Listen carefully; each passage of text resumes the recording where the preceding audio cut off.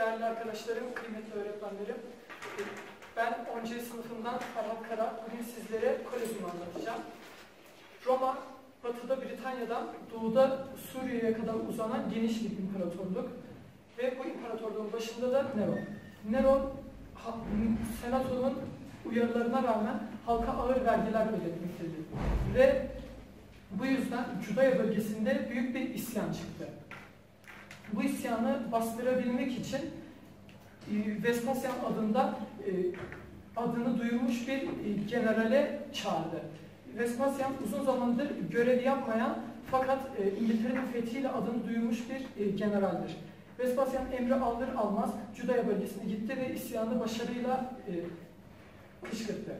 Fakat Neron bir yılı aşmadan Senato tarafından vatan haini ilan edildi. Senato halkın ona arka çıkacağını bildiği için bu kararı gönül rahatlığıyla verdi. Ve Neron ilan edilmekten korktuğu için intihar etti. Neron'un intiharının ardından Roma yeni bir imparatora ihtiyaç duyuyordu. Ve birçok kesim tarafından en uygun imparatorun Vespasyan olduğuna karar verildi ve Vespasyan haberi alır almaz Roma'ya geldi. Roma'ya gelmesinin ardından Senato Vespasyan'ı e, imparator ilan etti.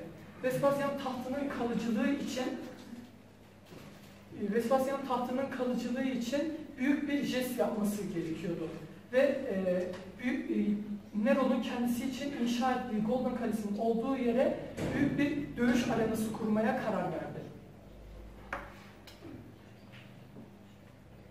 Büyük bir dövüş arenası kurmaya karar verdi.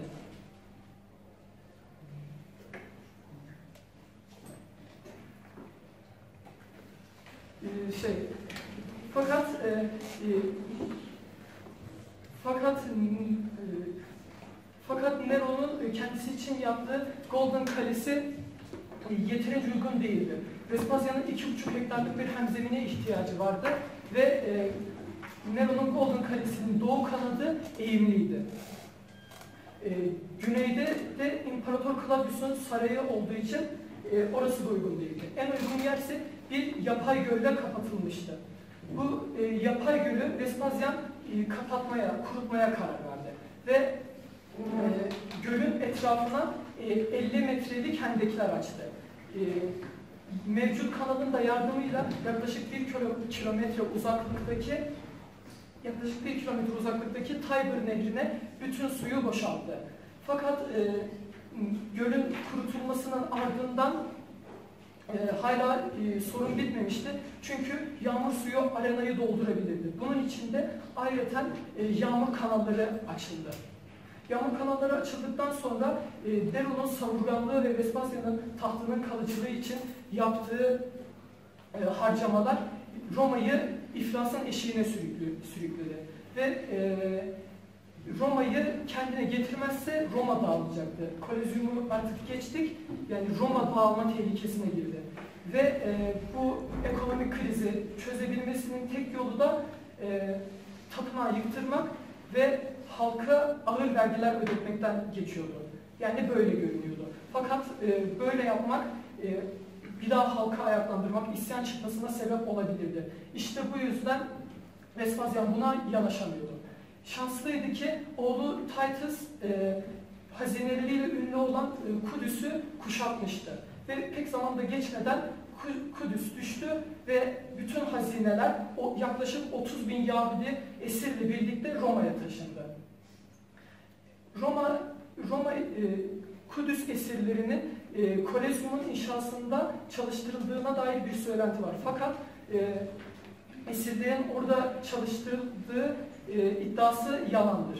E, Vespasyan e, Kolezyum'u güvenebileceği işin, işini iyi bilen ustalara yaptırmak istiyordu. Ve bu yüzden Yahudileri iş gücü olarak değil, para olarak görüyordu. Açık arttırmayla 30 bin Yahudi'yi aynı, aynı anda sattı ve bu 30 bin Yahudi'den gelen parayla Roma nüfusunun üçte birinin iş gücünü bir yıllığına kiralayabilecek bir paraya, e, parayı elde etti. Bu parayı da elde ettikten sonra artık Kolezyum'un inşasına yavaş yavaş başlanabilirdi. E, Kolezyum'un inşasında kullanılan üç temel yenilik vardır. Bunlardan birincisi kemerlerdir. Kemerler e, kama adı verilen bir dizi bloğun yarım daire şeklinde e, dizildikten sonra sağındaki ve solundaki sütunlara oturtulması ve en üstündeki kilit taşıyla birlikte bütün ağırlığın e, sağdaki ve soldaki kolonlara aktarılmasını sağ, sağlayan bir yapıdır. Ve aynı zamanda kemerlerin arası boşluk olduğu için ve kolezyumun her katında kemerlerden oluştuğu için ağırlığı olabildiğince hafif tutulmuştur. Her katta aralar boşluk olduğu için hafif, ağırlık da hafif olmuştur. Fakat e, her kata bu şekilde e, kemer yapılması bile yine de ağırlığı çok fazla tutacaktı. O yüzden farklı e, malzemelere de ihtiyaç vardı. Tamamen taş kullanılamazdı. Çünkü tamamen taş olsaydı kolezyum kendi ağırlığıyla çökerdi. İşte bu yüzden e, geleneksel harcın da dayanıksızlığından dolayı e, volkanik kum ve kireç taşının birleşimiyle elde edilen betonu buldular. Beton hem e, geleneksel harca göre daha dayanıklı hem de e, su geçirmezdi. İşte bu yüzden e, beton çok e, işe yaradı.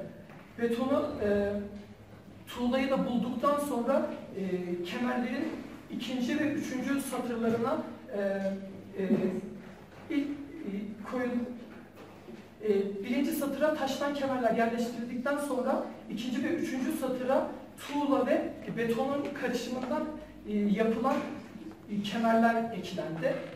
80 kemer, ikinci kat 80, üçüncü kat 80 şeklinde 240 kemer. Fakat oğlu Titus en üst kata bir sıra daha ekledi.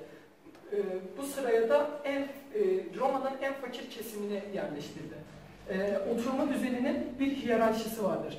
En ön satıra senatörler, bir üst satıra Romalı tüccar, Romalı iş adamları, onun üstüne fakir kesim, e, en üst kısma da e, e, Roma'nın en fakir kesimi yerleştirilir, yerleştirilmiştir.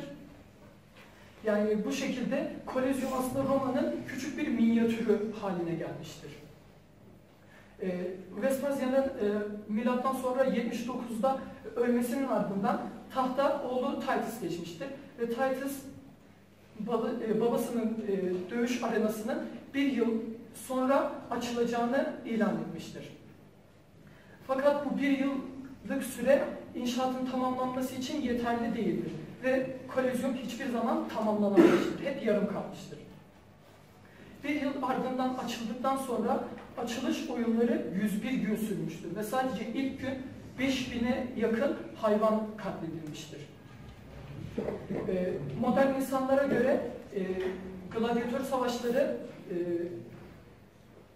gladyatör savaşlarını izleyen izleyiciler kana susamış gibi görünse de e, o, Romalılar için bu sadece birinci sınıf bir eğlencedir. E, sunum bu kadardı. Dinlediğiniz için teşekkürler.